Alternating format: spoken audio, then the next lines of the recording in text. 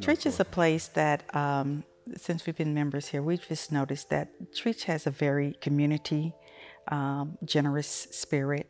Uh, I just remember uh, the productions and where they were open up to the community and they would be free of charge or just so many things. Uh, Vacation Bible School, where so many children were not even members of Trietsch, but they were welcomed here with open arms, you know, and things like the mission trips, things like that. Um, seeing that generosity, you know, as a congregation, you know, inspired us to, to want to be a part of that, you know, and to help others out there in the world.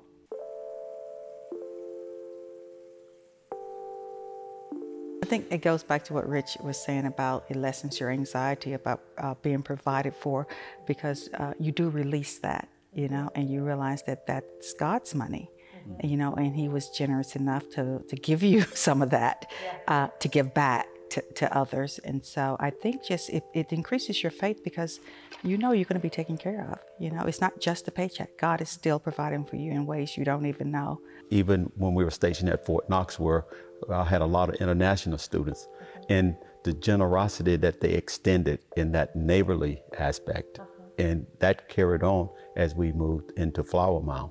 Uh, neighbors uh, wherever you are, and to treat them as neighbors, and that's generosity. And uh, helped me in, in growing in that faith with all of the activities and studies. All of those things uh, were, were just key aspects of my growth in, in my faith. And that is why I give to uh. And I know that the stewardship of what we give will benefit others within a larger community than just this area. You don't miss it, but I know that I'm helping carry out God's work and for His purposes in use.